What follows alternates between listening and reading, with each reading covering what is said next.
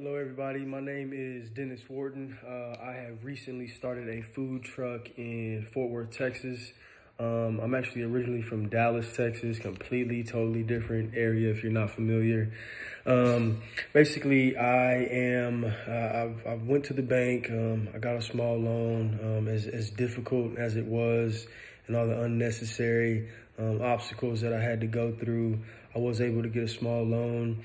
Um, I'm really just looking for um, uh, people to, uh, potential donors to invest in my, in my, in my baby, my, my pride and joy. Um, you know, I love to cook. My passion is there. My drive is there. My ambition is there. Um, I've been able to accomplish a lot um, before I reached the age of 30. Um, and this is my, my next big thing. I'm, I'm really devoted. I'm a really hard worker.